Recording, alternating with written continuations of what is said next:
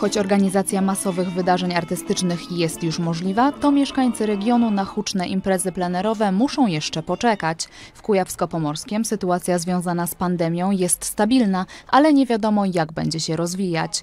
Koronawirus znacząco ograniczył także przychody samorządów, na rozrywkę jest więc mniej pieniędzy.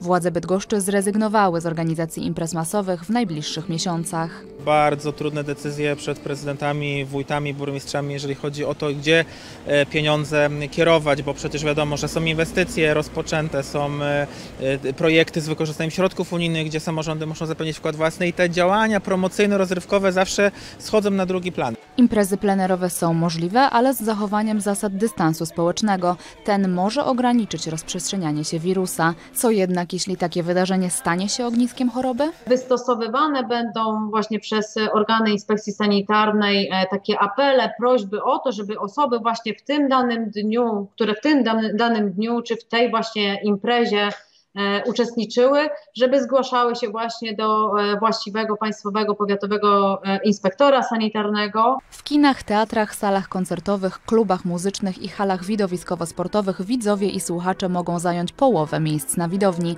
Na stadionach otwartych i półotwartych jedną czwartą. W piątek w województwie nie stwierdzono żadnych nowych zakażeń koronawirusem. Lekarze zalecają jednak zachowanie ostrożności, bo jak mówią, pandemia nadal trwa. tak duża liczba osób e, nie, w stosunkowo niedużej przestrzeni jest to zawsze ryzyko e, transmisji koronawirusa SARS-CoV-2, szczególnie u pacjentów, e, którzy mają przebieg bezobjawowy i nie wiedzą, że są chorzy na COVID-19.